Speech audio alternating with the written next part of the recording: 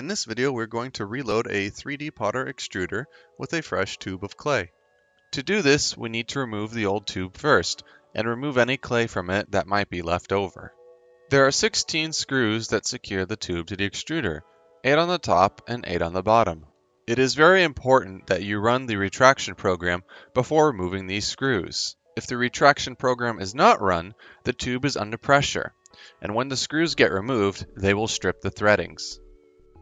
It's best to use hand tools when removing screws from the extruder. If you use power tools, there's a high chance that threads could get stripped. With the top 8 screws off, we can remove the gearbox assembly. It is very important to make sure that no debris get on the Acme screw.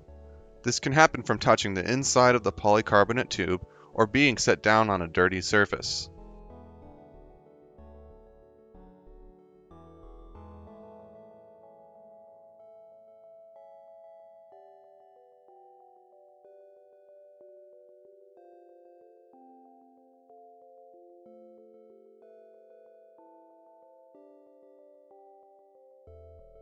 Now that all of the screws are out, we're going to need to move the nozzle adapter and the piston to the new tube. We're also going to remove the two screws that secure the square anti-rotator. We're going to use the anti-rotator to push out the remaining clay out of the old tube. You can use another object as well, such as the cardboard tube we used in our pug mill operation video. If you are going to be using the anti-rotator, be sure that no clay gets inside of it.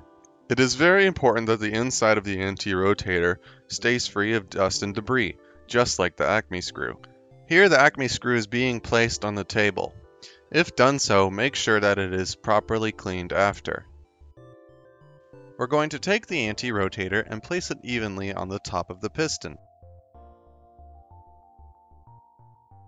We will then turn the tube upside down and pull down on the tube to remove the remaining clay.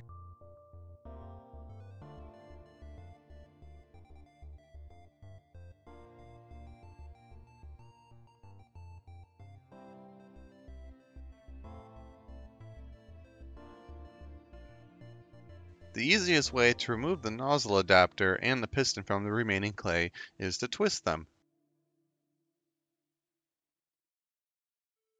You will need to clean the piston and the nozzle adapter. If you are going to use a tool to clean the seal, make sure that it is soft and blunted. You do not want to damage the seals. We are also going to scoop some of the clay out of the nozzle adapter.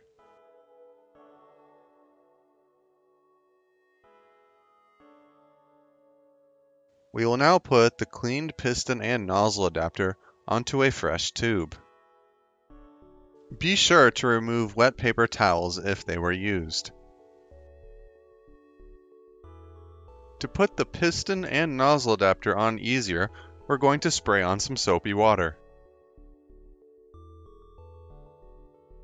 Make sure that the seal does not fold in on itself and is in the correct position. If there is an airtight seal, you can poke a hole through the remaining clay that is in the nozzle adapter.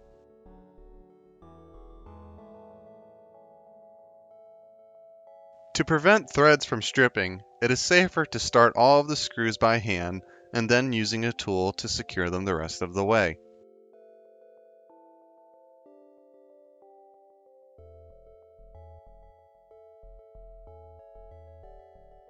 These screws are only acting as pins, similar to the pins that we attach the tube to the pug mill with.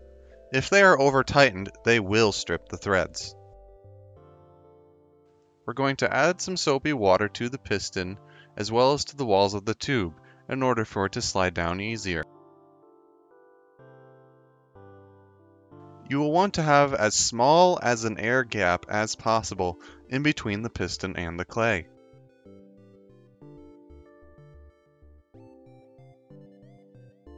As you can see here, the piston is making direct contact with the clay. Before reinstalling the gearbox, you will want to visually inspect the Acme screw. If the white lithium grease looks gray, or you see debris on the Acme screw, it should be cleaned. We're going to take a drill with the ram driver tool included with the extruder. We are then going to hold a microfiber cloth to the Acme screw while unscrewing it. We now need to re-lubricate the Acme screw with fresh white lithium grease.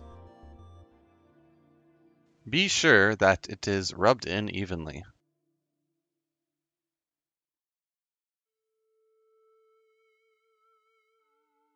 We are also going to add some more grease to the anti-rotator. The goal of this system is to reduce friction as much as possible. For best results, you should use a narrow, thin, long tool to spread the grease down inside the anti-rotator. We are now going to reattach the tube to the gearbox assembly.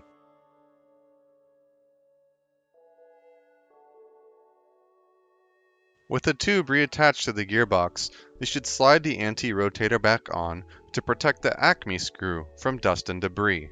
This step can also be done earlier.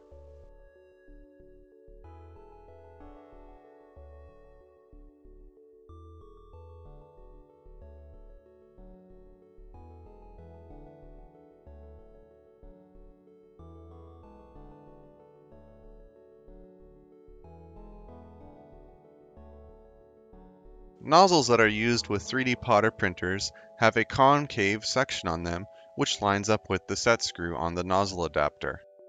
Don't over tighten a set screw. You could strip the threads or crack the nozzle. The tightness should be just enough to have the nozzle set in place. To pre-prime the extruder, you can rotate the anti-rotator in a clockwise direction. You can continue doing this operation until it becomes too difficult to do by hand, or until clay comes out the other side.